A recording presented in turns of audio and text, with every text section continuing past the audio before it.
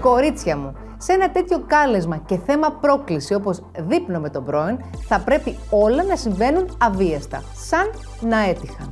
Μην προσπαθείτε πάρα πολύ να κάνετε έντονο styling, πολύ πολύ έτσι fashion statement επιλογές, πάρα πολύ έντονα χρώματα και πάρα πολύ έντονα μοτίβα, γιατί απλά δεν πετυχαίνει το σκοπό. Δηλαδή, το μάτι του πρώην αλλά και τον γύρο πέφτει πάνω στη στιλιστική σας προσπάθεια και όχι στην ουσία που είναι η προσωπικότητα και το πόσο φανταστική γυναίκα είστε.